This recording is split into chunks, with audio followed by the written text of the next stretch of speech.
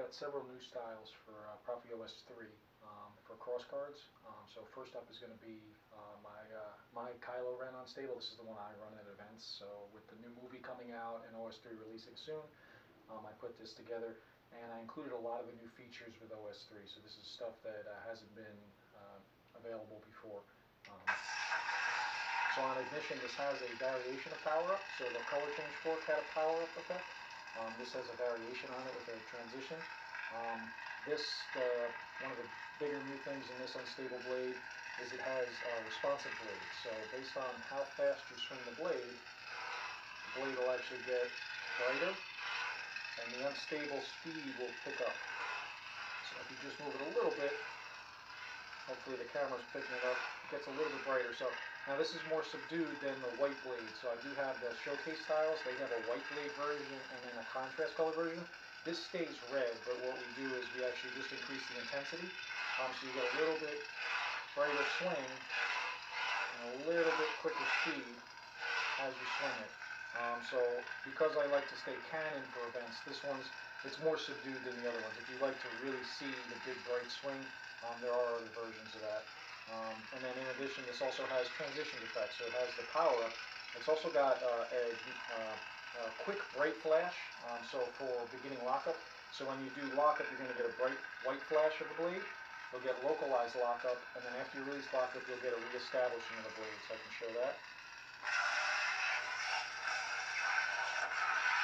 So that has that quick flash, the quick flash of the entire blade, localized lockup, and then a reestablish. And then for drag, similarly, it's going to have a quick flash of the tip, and then the drag effect, and it'll actually fade out. So instead of just turning off, the drag effect now has a fade out on it. And then for OS 3, there's also now a stab effect. So the stab effect has an animation on it. So when I do a thrust and clash, there'll be a wipe in of the effect, and then a fade out. So instead of just turning on, you'll actually see it wipe in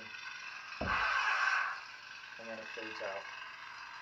Um, so now this being uh, just in red, uh, with OS 3 there is also a default color wheel. So this doesn't have color change built into it, it's going to use the default color wheel.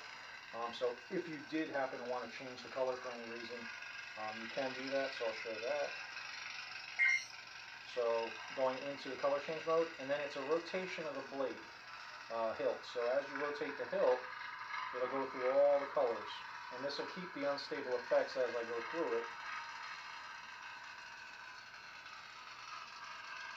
And you can get to any color you'd like. Green. And then you can lock it in. And then again, you get all the effects.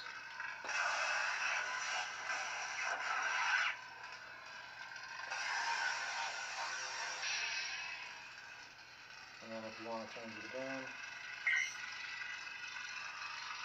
get back around to red, so there's a yellow, orange, and red. And it's it's pretty, you can fine tune it pretty well. It's, so that's a little more of an orangey red, but that's available. So uh, right now it's just in red because I'm building this for the Premiere. Um, but because you have the color wheel, you could actually go in and modify it um, with OS 3, so you could pick a different color. Um, so that's the new, I'm calling this my uh, Fett263 uh, Kylo Ren style, um, and it's available up on the library.